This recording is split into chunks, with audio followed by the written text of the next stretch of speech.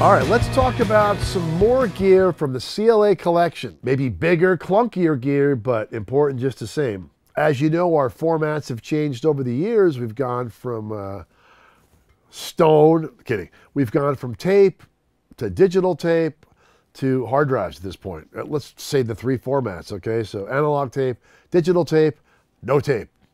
Well, I, for the longest time, most of my career, Sony 3348 digital tape machine, 48 tracks on one tape, 48K, 16 bit.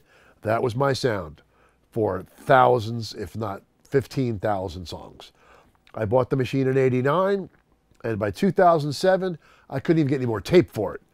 And I bought every reel tape that was available, and then it ended. So I think by about 2010, 2011, it might have it might even stretched till 2013, I think, before I was literally done.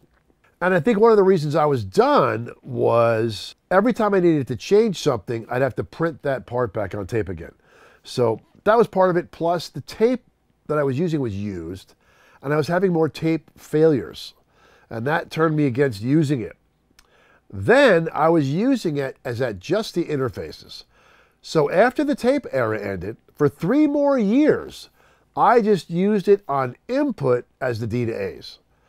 And even for you, okay, just using it as the D to A's sounds amazing. And I think that's the future for anyone using it, okay? I had it in here using it, and the reason why, the main reason I stopped using it was because I was getting so many sessions that were 96K, and I want to mix back to 96K. All my sessions are 96K now. So I wasn't able to continue with that and stick with 48K.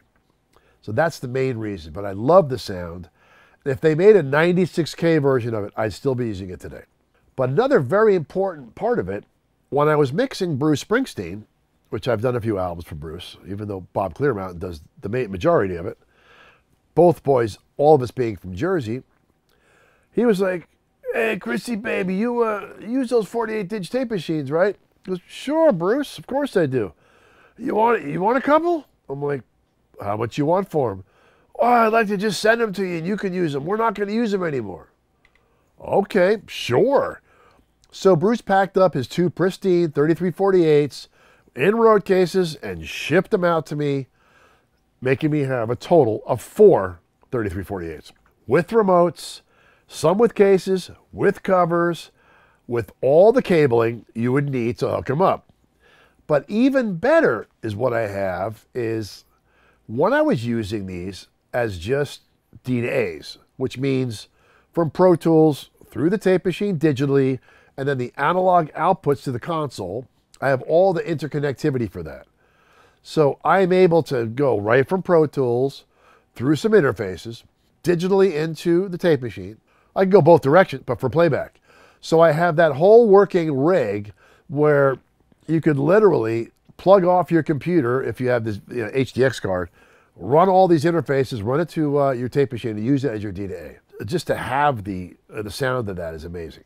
So we got some Springsteen, some CLA. It's it was a major part of my sound for most of my career. It was the 3348. But as I say, as I had to move forward because of the sessions I was receiving and how I had to mix back to 96K for delivery, which which I always do. I didn't want to have a a second Pro Tools rig just to mix to and synchronize. And with all the multi-tracks being high res, I couldn't crunch them all down to 48.